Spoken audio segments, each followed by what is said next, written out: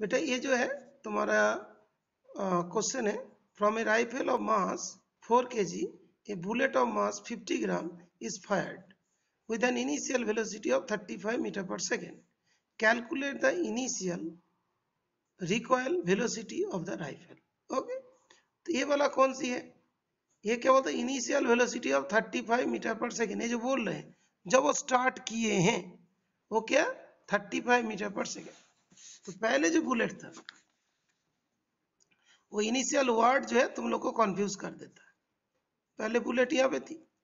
यहाँ से जो निकला है, वो वाला वेलोसिटी 35 मीटर पर सेकेंड ये जो निकले यहाँ से जो निकले ठीक है? और इससे पहले, ये जाने से पहले इधर पे क्या वेलोसिटीज था? दैट वाज ज़ीरो अंडरस्टूड तो ये जो है तो यहाँ पे u1 one equal to zero था u2 भी ज़ीरो था। M1 कितना? M1 दैट इज़ बुलेट का। U1 अच्छा इसके m1 मान लेते इसको m2 मान लेते ओके तो m1 एम वन जो है four K G M two M two कितना? फिफ्टी ग्राम तो fifty upon thousand kg. 1 upon 20 kg. V v1 find करना। और v2 जो बुलेट का जो वैल्यू दिया 35 मीटर पर सेकेंड तो according to conservation of momentum according to conservation of momentum m1 e1 plus m2 u2 equals to m1 v1 plus m2 v2 तो m1 का values कितना? फोर u1 का zero m2 का one by twenty into zero M V one M one four into V one plus M two कितना? One upon twenty into V two कितना? Thirty five ये तो पूरा zero हो गया। Four V one plus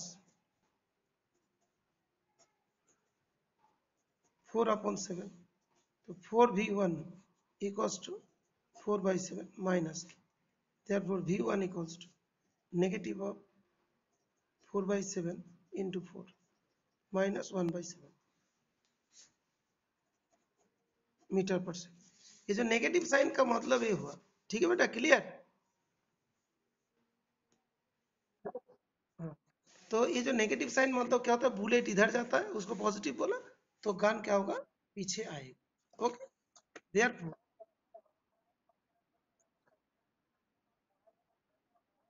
हाँ हाँ। ठीक है? तो तो रिक्वायल वेलोसिटी इसे क्या बोलते हैं? Recoil velocity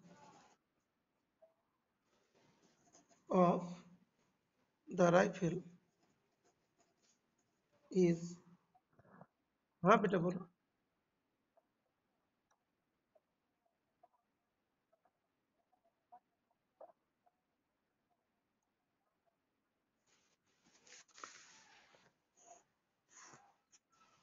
हाँ बेटा बोलिए अभी।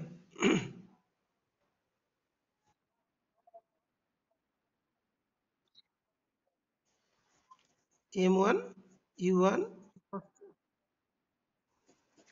बेटा तो तब तो एक पार्टिकल का होगा ना। ये तो मास को बताते हैं। पहले जोड़ना पड़ेगा ना दो दो पार्टिकल की बात है।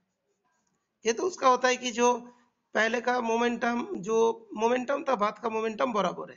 लेकिन जब तुम फॉर्मूला में पुट करोगे इंडिविजुअल चीज़ पुट करना पड़ेगा ना।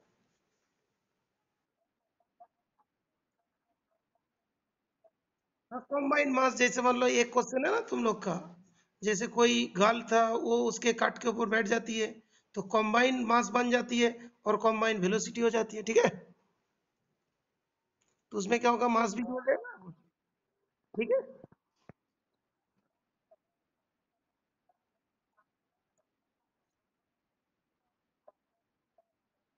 अच्छा ओके क्या तुम्हारा ये वाला क्वेश्चन समझ में आ गया?